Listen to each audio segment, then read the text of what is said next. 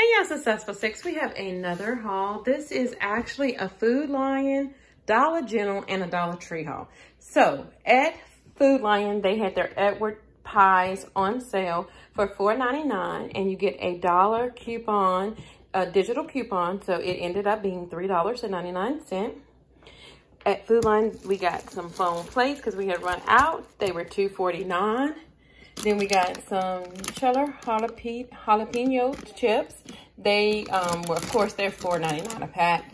And then we got some popcorn for uh, $2.99. At Dollar General, we picked up our water packets that we love. That's a zero sugar country time. We got 10 of those. We got a thing of imperial butter. We picked up some alcohol, which is the 91%. And then we picked up the 70. At Dollar Tree, we got some um, AIM um, floss sticks. We got two of those.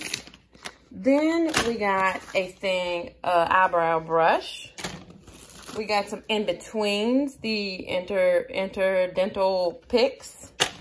And then we got two, uh, three, I'm sorry, three of the 14 plates.